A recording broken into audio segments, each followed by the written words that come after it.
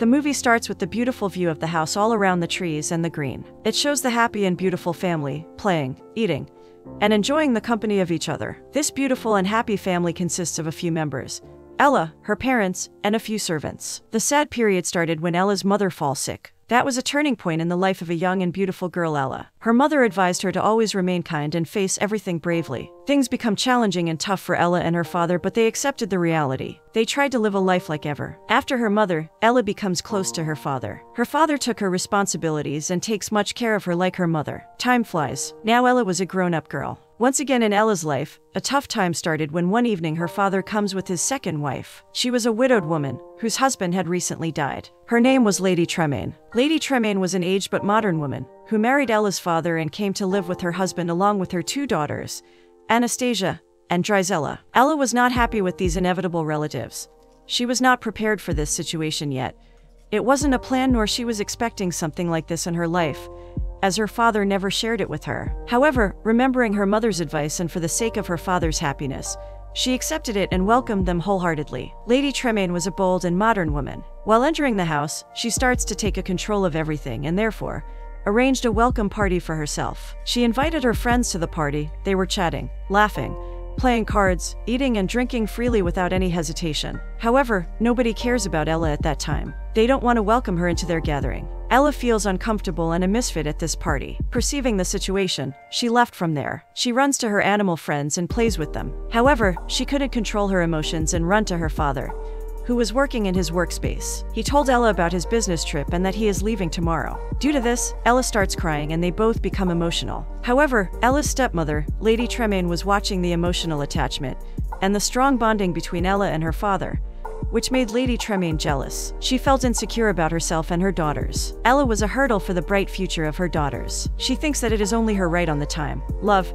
emotions, and money of Ella's father. Therefore, in her heart, she decided to take all the facilities from Ella. The next morning, Ella's father left. Suddenly, Lady Tremaine changed her behavior towards Ella. She becomes a cruel stepmother. She asked Ella to leave her room and shift to the attic as it is only her daughter's right to live in that room. It was a very difficult situation for Ella. Her memories and the things were in this room, which her parents had decorated for her. As there was nobody to favor her, she left the room sadly and shifted into the attic. People like Ella are very rare in this world. They know how to stay positive and calm in every situation. These type of people always have a special reward for their patience from God. Ella adjusted herself in the attic too. She starts living happily, chatting and playing with her tiny animal friends. She taught that it is good to live here, as she will not face her stepmother and the stepsisters over and over. Unfortunately, she was wrong here. Her stepmother and sisters start buttering her up. They insist on her doing the house chores, buttering that she is the best. They left no space for her and were treating her like a servant. Life becomes difficult for Ella. She becomes tired, but she was hopeful that when her father will return everything will come back to routine. Alas, that was not what nature had planned. The climax comes in the movie when one day a servant comes to the door of the house,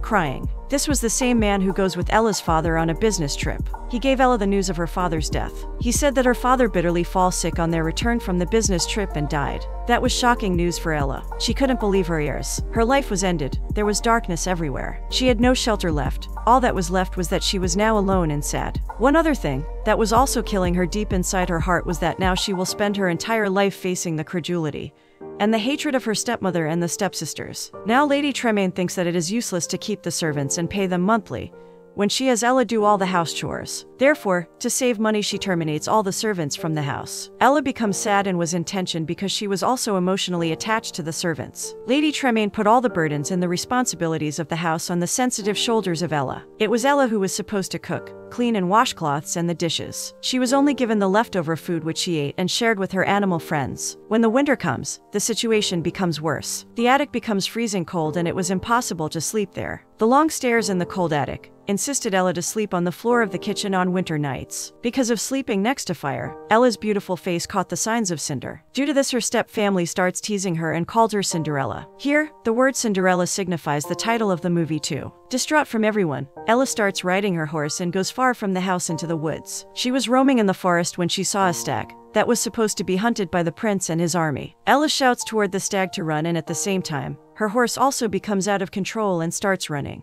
The prince on his horse comes to save the life of Ella. He told her that he is a servant of the prince from the palace. Together they had a chat and played. They spent quality time with each other, but soon Ella leaves without telling him her identity. The next day, King got sick. He called the prince and told him that he should get married soon as it is his last wish to see him as a king in his life. King asked him to select a princess for himself at the royal ball. Listening to this, Prince said that every citizen should be invited to the ball including the maidens too. The prince intended to find Ella and marry her. He was in love with her. King agrees to this condition of the prince. The next day, the prince's men announced the market and invited all the citizens including the rich and the poor to the royal ball. That news was surprising for the common people. Ella was also present there. She went home and excitedly told Lady Tremaine about the invitation. She thinks that in this way it could be possible for her to meet Kit, for her Kit was a servant in the palace. Sadly, Lady Tremaine ignored Ella and ran toward her daughters in the excitement. Lady Tremaine dreamed that if a prince will marry any one of her daughters, then their life can be changed and she will rule the whole palace. Now the scene shifts toward the prince in the palace. Prince has been seen lost in his thoughts thinking about Ella every time. His captain also noticed that he is not focused on his work. However, the prince is also worried about the king's decision. The preparation started at Ella's house. Her stepmother, Lady Tremaine, was focused on the style of her daughters. She bought them the new expensive dresses too. But there was no dress for Ella. She was teaching her daughters to dance gracefully at the royal ball. Ella becomes worried. She desired to meet Kit at the ball.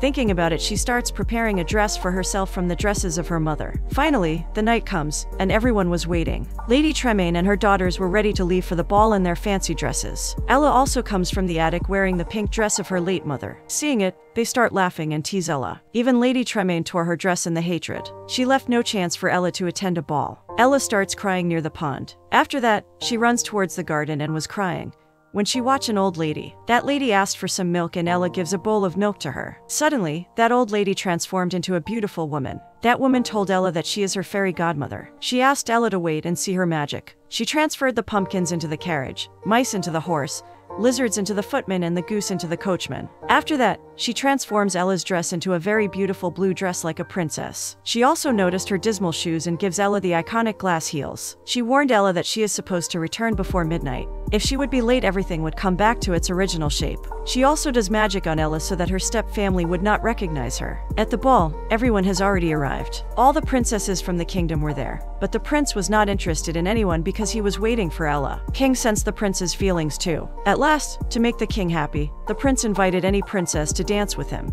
The celebrations were going to start when all of the sudden, Ella enters. Her entrance was so mesmerizing that everyone starts looking at her. They adored her charm and beauty. The prince's happiness was unconditional. Everyone makes a way for the two lovers. However, Ella was surprised, for her Kit was a servant. She asked him why they are glaring at him due to which the prince replied that they are watching her beauty. Prince becomes very excited. He brings Ella with him and showed her his secret garden. He even gives a swing to her. They were dancing and enjoying themselves together. When the prince asked Ella about her identity at the same time she remembers that it is going to be midnight. She starts running to where her cart was present. Prince was running behind Ella to stop, but he couldn't. Finally, Ella becomes successful to run from the palace. On the way, when it was midnight, everything comes to its original shape and now Ella goes home walking. In the attic she hides one shoe, and the other shoe she left at the palace in hurry. On the other side, the king becomes very ill. He permitted the prince to marry a girl of his choice, due to which the prince becomes very happy. Now Prince ordered his army to find a girl, whose foot fits this shoe. The army went to every house, and every girl tried this shoe but nobody's foot fit this properly. The last home was of Lady Tremaine. She locked Ella in the attic and ordered her to not come out.